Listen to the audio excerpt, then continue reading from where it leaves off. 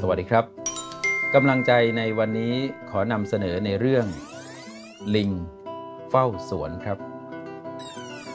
ใช้คนให้ถูกกับงานสำราญแน่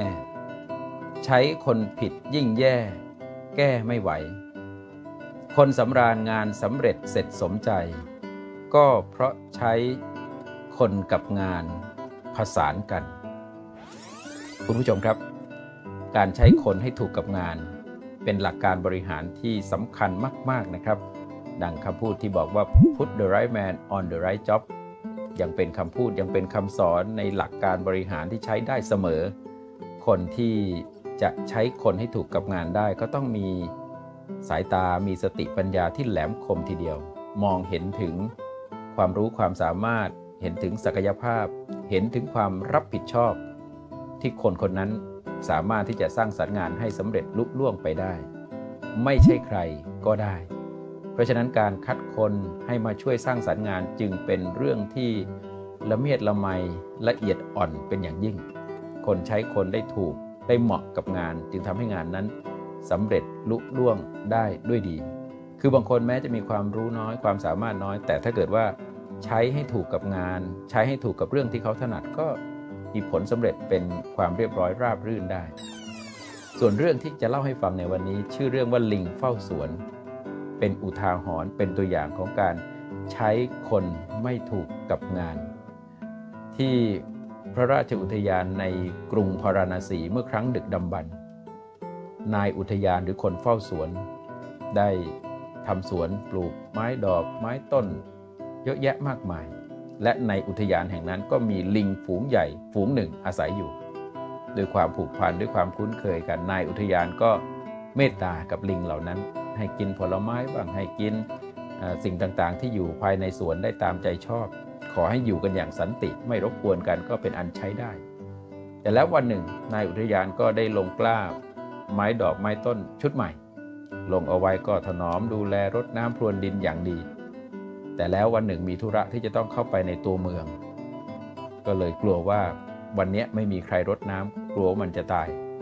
ก็เลยได้พูดคุยกับลิงจ่าฝูงบอกบอกว่าช่วยงานหน่อย พอจะทำได้ไหมจะเข้าไปธุระในตัวเมืองช่วยรดน้ำต้นไม้เหล่านี้ให้หน่อย กลัวมันจะตาย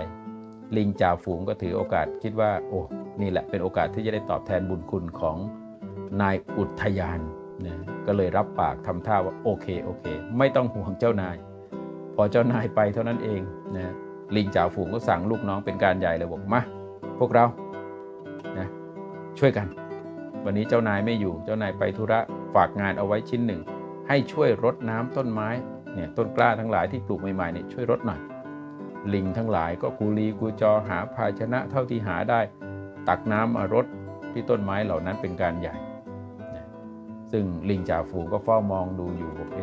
ถ้าทางจะเละยิ่งกว่าเดิมนะเนี่ยนะเพราะว่าบางต้นก็ยังไม่ได้รดบางต้นก็รดบางต้นรดแล้วก็รดอีก